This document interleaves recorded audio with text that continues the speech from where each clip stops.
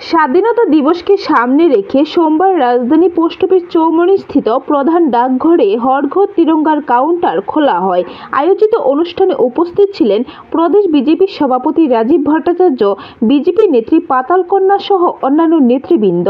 প্রদেশ সভাপতি বলেন, আসন্ন স্বাধীনতা দিবস উপলক্ষে ঘরে ঘরে পতাকা তোলার জন্য মানুষের কাছে আহ্বান জানানো হচ্ছে।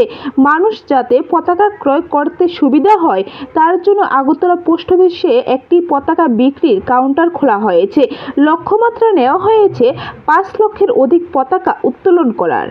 ইতিমধ্যে আমাদের দেশের যশস্বী প্রধানমন্ত্রী গত বছরও হর ঘর তিরঙ্গা।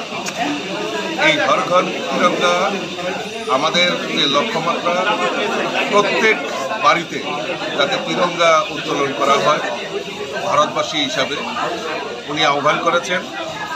ঠিক অনুরূপ এইবারও উনি আহ্বান করেছেন, হর ঘর তিরঙ্গা।